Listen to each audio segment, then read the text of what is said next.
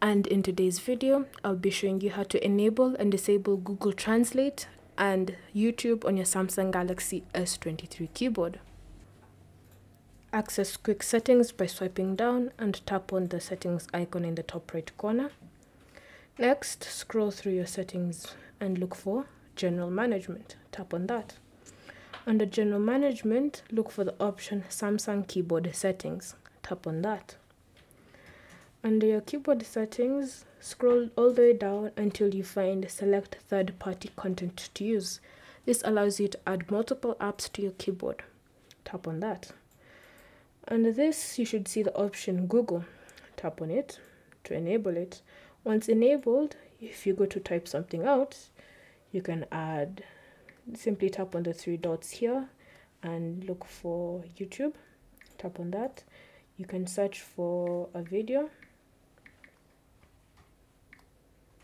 if you would like.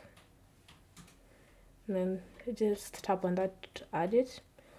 Or if you would like something to be translated, look for translate and then you can highlight the word you would like or sentence you would like translated, copy, paste it, and select if you want to translate it from English to whatever language you would like, such as Afrikaans, and translate. You should see it right next to the highlighted word.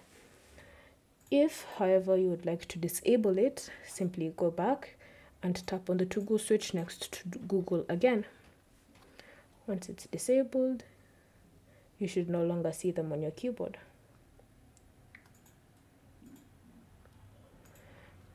Thank you for watching. If you have any questions or comments, please leave them down below and we'll get back to you.